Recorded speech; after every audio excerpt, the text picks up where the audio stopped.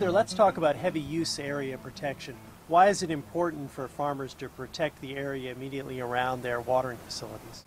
Watering facilities automatically create areas that will get a lot of hoof traffic and will quickly become eroded or muddy. Installing a surface of gravel or concrete around the watering facility will prevent that from happening. Of course, this should be the last thing that you do. It's the final part of livestock watering facilities installation. You can use either concrete or gravel to protect the area around your watering facilities. Concrete will require less maintenance than gravel. A gravel heavy use area will require you to install non-woven geotextile first as a base.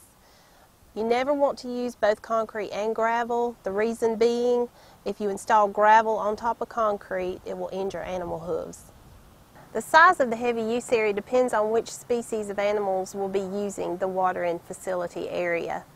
Cattle typically need a heavy use area extending 10 feet in every direction from the edge of the tank or trough. For a gravel heavy use area, you'll want to prepare a solid foundation.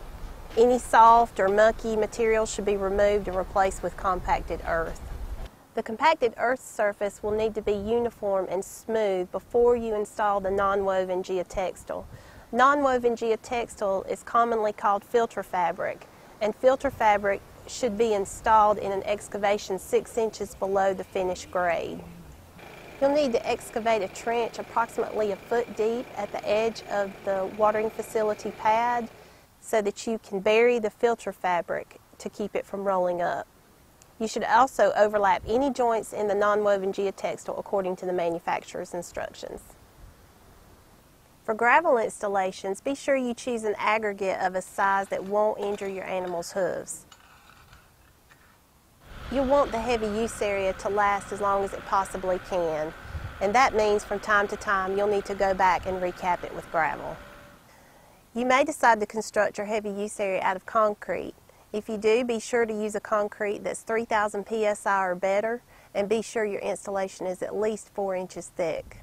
You can check with your local NRCS office for requirements for reinforcement as well as the requirements for contraction and expansion joints sc.nrcs.usda.gov is your source for conservation standards.